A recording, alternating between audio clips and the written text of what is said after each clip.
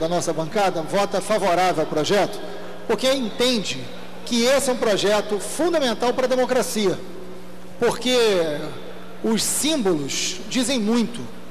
Se você visita hoje, o deputado Atila Nunes, que fez uma bela fala aqui, se você visita hoje o centro de Berlim, você vai encontrar um museu do Holocausto.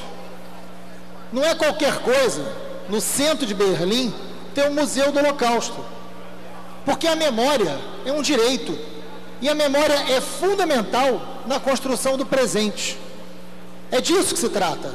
Então, nesse sentido, esse projeto é absolutamente importante para a construção da democracia hoje, porque se refere a símbolos de um período ditatorial, violento, onde o Estado, o Estado, foi responsável pelo desaparecimento, por torturas, por mortes, por uma ação absolutamente violenta. Quero dizer ao deputado que defendeu aqui o regime da ditadura militar, que acho muito curioso nesse momento dizer que a democracia deveria levar a consulta das pessoas, coisa que o regime militar nunca fez. Coisa que o regime da ditadura militar nunca fez. Acho muito importante, sim, que exista consulta aos moradores, que se faça o debate com os moradores. Acho extremamente importante. Sempre, em qualquer episódio, deva ter a consulta aos moradores. Até o esclarecimento de que representa aquele nome, o que representa aquela memória. Acho que isso é importante, sim, coisa que não aconteceu no regime da ditadura civil-militar, onde esse parlamento foi fechado, onde os parlamentos foram fechados, porque não convive com a democracia, é disso que se fala.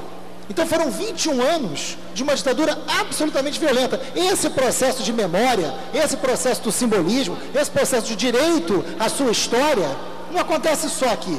Isso já aconteceu no Chile, no Uruguai, na Argentina e trouxe grandes avanços para o processo democrático desses países.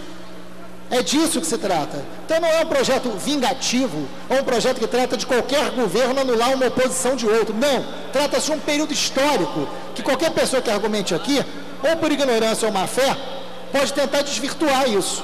Mas não, a gente está falando não de uma oposição a qualquer governo, a gente está falando de um regime ditatorial que existiu, que foi forte, teve consequências e que esses simbolismos não podem estar na memória dessa população sem qualquer debate mais profundo. Então o projeto é absolutamente importante para os dias de hoje e cabe sim a não homenagem a pessoas que foram responsáveis por um dos períodos mais violentos da nossa história.